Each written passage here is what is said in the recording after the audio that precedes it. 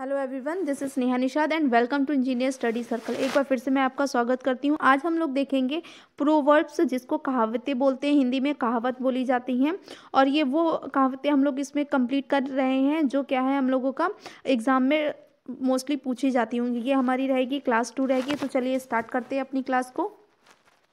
First है हमारी a born child dreads the fire क्या होता है? A born child dreads the fire और एक दूसरा भी है वंस बिटेन ट्वाइस शाई इसका हिंदी में मंत्र हिंदी में देखेंगे इसका मीनिंग तो क्या होता है? दूध का जला छाछ को भी फूक फूक कर पीता है। यानी कि अगर कोई एक बार किसी से कोई व्यक्ति से गलती हो जाए तो वो लाइफ टाइम क्या करता है? सावधानी बरतता है और और अपना भी जो भी कार्य होता है, वो बहुत सावधानी पूर्वक करता है। तो इसको क्या करेंगे? साथ साथ में आप नोट्स बनाते चलिएगा, ताकि ये आपके एग्ज़ाम के लिए बहुत ही ज़्यादा हेल्पफुल रहेगा और तुरंत ही लर्न हो जाएगा। तो ट्वाइस टाइम फिर से करते हैं। क्या means a born child read the fire a born child read the fire next है once bitten twice shy once bitten twice shy अगर एक बार क्या हो जाए, कोई गलती हो जाए तो बार उसको दोबारा वो गलती नहीं करता है और सावधानी से अपना कार्य करता है।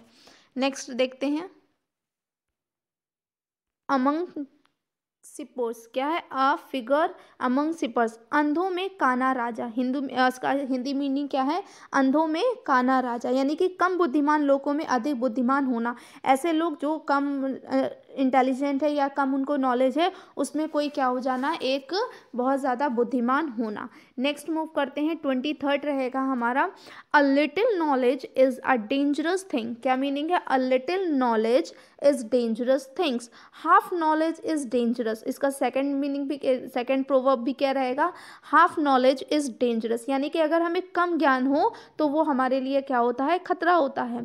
तो इसका अगर हिंदी में देखेंगे तो हिंदी में कौन सी कहावत बनती है? हिंदी में बनती है, नीम हकीम खतराए जान, यानी कि नीम हकीम खतराए जान।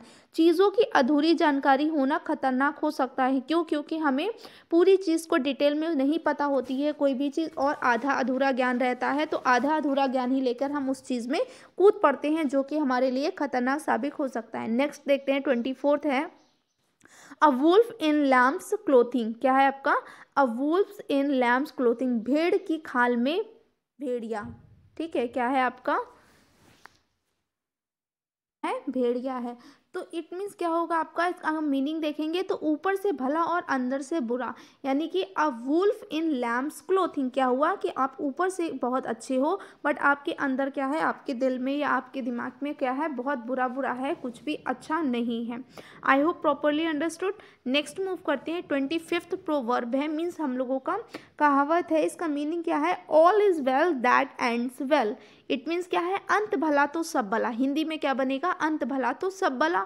और इंग्लिश का क्या होगा? All is well that ends well अगर आपको हिंदी इंग्लिश दोनों का पता रहेगा तो आप मीनिंग उसकी ऑटोमेटिकली आराम से अच्छे से निकाल सकते हैं। तो अगर मीनिंग क्या है? आखिर में क्या होता है, वह मायने रखता है। पूरा पूरा क्या हो जाता है? जैसे कोई मूवी आप देखते हो तो आपको पूरा मूवी तो आप अच्छे से देख लेते हो। बट अगर उसकी एंडिंग अच्छी नहीं होती है तो आपको फिर वो अच्छा नहीं लगता। बट अगर एट द लास्ट आपको, आपके मन चाह एंडिंग मिल जाती है तो आप क्या कहते हो? हाँ कि ये अच्छी मूवी थी लास्ट में ऐसा ही होना चाहिए था और ऐसा हो गया। It means all is well that's ends well next है grass on the other side always looks greener क्या है? Grass on the other side always looks greener दूर के ढोल सुहावने लगते हैं। इसका मीनिंग क्या हो जाएगा? डू आपका हिंदी में अगर देखेंगे तो क्या है? दूर के ढोल सुहावने लगते हैं। और मीनिंग पे जाएँगे तो मीनिंग है, दूर से चीज़ें अच्छी लगती हैं जो दूसरों के पास होता है। वह अधिक महत्व लगता है लगता है। मतलब जो चीज़ हमें दूसरों के पास हम देखते हैं, तब हमको लगता है कि हाँ वो बहुत ही ज़्यादा इंपॉर्टेंट है एक्सपेंसिव है या बहुत ही मूल्यवान है बट जब वो अपने पास, खुद के पास वो चीज़ आती है, तब हम उस चीज़ की इतनी कदर नहीं कर पाते हैं। आगे मूव करते हैं। नेक्स्ट है twenty seventh a bad workman blames his tools क्या है? A bad workman blames his tools नाच ना जाने आँगन टेढ़ा। इट मीन्स खुद को काम नहीं आता है बट हम ये बोलते हैं कि अरे, ये तो आँगन ही टेढ़ा है, या हमें खुद काम नहीं करना आता है। हम दूसरी चीज़ों पे क्या करते हैं? उसमें नुकसान इंसान निका, वो निकालते हैं दोष या कमी ढूंढते हैं। तो अपनी कमी से कुछ ना कर पाने का दोष अन्य चीज़ों पर देना यानी कि हम खुद नहीं पढ़ रहे हैं हम कुछ खुद एग्ज़ाम नहीं दे रहे हैं बाद में एग्ज़ाम दे के आए और हम पास नहीं हो तो हम दूसरी चीज़ों पर क्या निकालें नुक्स निकालें या दूसरी चीज़ को उल्टा सीधा बोले क्योंकि हमने खुद स्टडी नहीं की तो वो चीज़ आपको पता होनी चाहिए। नेक्स्ट मूव कर मूव करते हैं प्रूव ऑफ़ ट्वेंटी एट है all that glitters is not gold it means क्या है? All that glitter is not gold, हर चमकने वाली चीज़ सोना नहीं होती कि ग्लिटर्स तो देखते हैं ना, बहुत शाइन करते हैं तो इसका मतलब क्या है? जो भी चीज़ चमकता है, इसका मतलब ये नहीं कि वो सोना है। बाहरी रंग रूप से प्रभावित नहीं होना चाहिए। हमें किसी के भी बाहर से देख कर कि वो इंसान ऐसा है या वो चीज़ ऐसी है, उसको देख के आप प्रभावित हो प्रभावित हो जाते हो या फिर आपके ऊपर इम्पैक्ट पड़ता है, आप उससे इंस्पायर हो जाते हो तो फिर बाद में हमें क्या पता चलता है कि उसकी रियलिटी ये नहीं है, वो अच्छा नहीं है, या वो तो बस देखने में ही अच्छा था, आप वो सामान ले आए, पर अंदर से जब यूज़ किया, आपको पता चला कि वो तो बहुत ही चीप था। नेक्स्ट मूव करते हैं प्रोवर्ब ट्वेंटी नाइन की तरफ़ you cannot live in Rome and fight with the pope means क्या है? You can not live in Rome and fight with the pope जल में रहकर मगर से बैर ठीक नहीं है। यानी कि अपने क्षेत्र के ताकतवर व्यक्ति से दुश्मनी नहीं करनी चाहिए। दुश्मनी नहीं करनी चाहिए। मतलब जो अपने ही फ़ील्ड में बहुत ज़्यादा कैसा हो इंटेलिजेंट हो, बहुत ज़्यादा मीनिंगफुल हो, उसको बहुत ज़्यादा समझ हो चीज़ों की तो हमें उससे दुश्मनी नहीं करनी चाहिए। नेक्स्ट है प्रोवर्ब थर्टी है। Tit for tat tit for tat means होता है जैसे को तैसा। अच्छे के साथ अच्छा और बुरे के साथ बुरा करना। टिट फॉर टैट मीन्स क्या होता है? जो कोई अच्छा करे तो उसके साथ अच्छा करो और जो कोई बुरा करे उसके साथ बुरा। ऐसा ये क्या है आपका? टिट फॉर टैट ये हमारा प्रोवर्ब्स कहलाता है। नेक्स्ट प्रोवर्ब थर्टी फ़र्स्ट है, इसमें क्या है? A friend is need is a friend is indeed क्या है?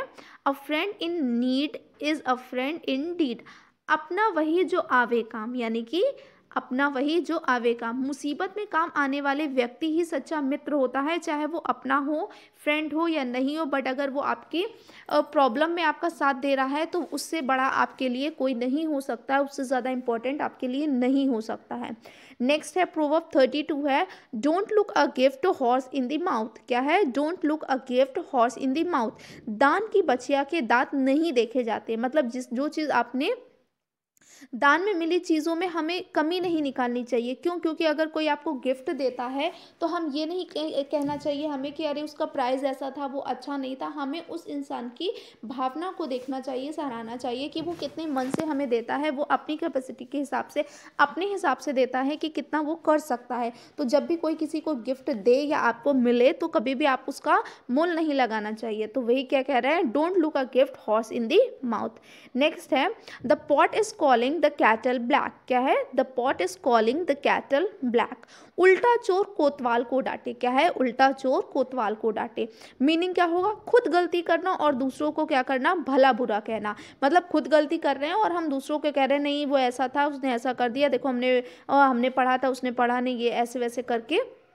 एंड ऑल दैट नेक्स्ट है प्रोवर्ब थर्टी फोर्थ है as you sow as you sow so shall your reap क्या है? As you sow so shall you reap इसका means होता है, जैसे बोगे वैसा काटोगे। यानी कि हम जैसा कर्म करेंगे, जैसा काम करेंगे, हमें वैसा ही फल मिलेगा।